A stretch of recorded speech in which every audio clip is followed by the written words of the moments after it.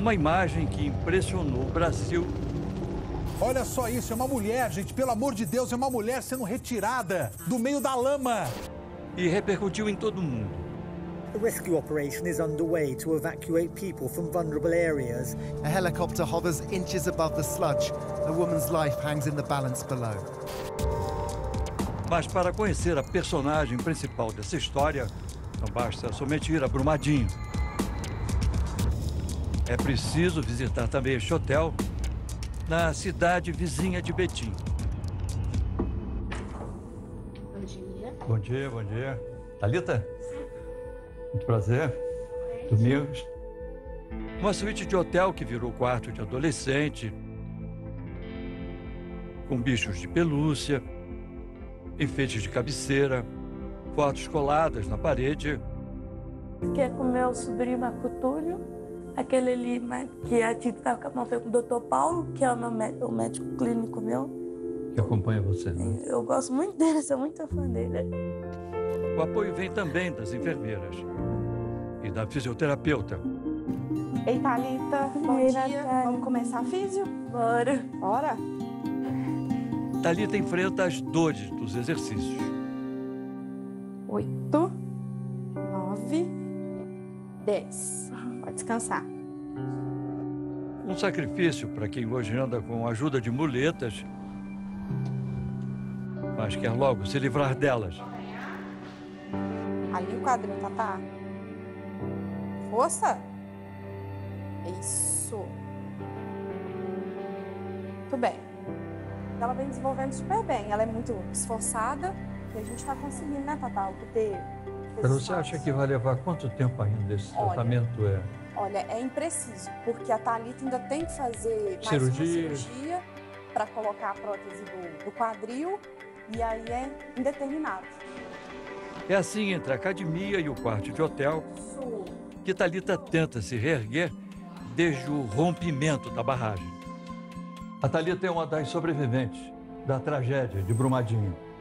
Ela estava em casa com a irmã e a sobrinha quando a barragem se rompeu. As três foram arrastadas pela lama. A Talita e a irmã sobreviveram. E a sobrinha morreu.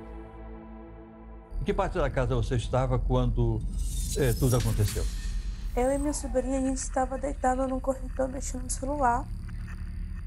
E a Alessandra, é minha irmã, chegou e foi na gente conversar mim, perguntar se tá tudo bem. Vocês estavam conversando, né? Sim.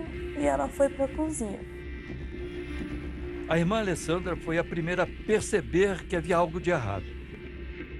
Eu imaginei que era um avião, um helicóptero que tinha caído em cima da casa.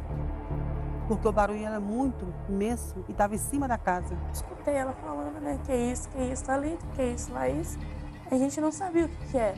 Aí que, minha que eu teve- tive o raciocínio. Falei, meu Deus, isso é a barragem, igual de Mariana. Meu Deus, a barragem estourou. É igual de Mariana. Qual foi a imagem que ficou gravada na sua memória antes de você ser engolida pela lama? Minha sobrinha. Na porta. Minha sobrinha na porta.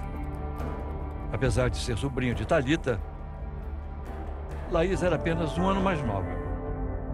As duas tinham um relacionamento perfeito, é, de irmãs mesmo, que era o relacion- relacionamento das duas. Amigas inseparáveis, afastadas definitivamente por uma tragédia.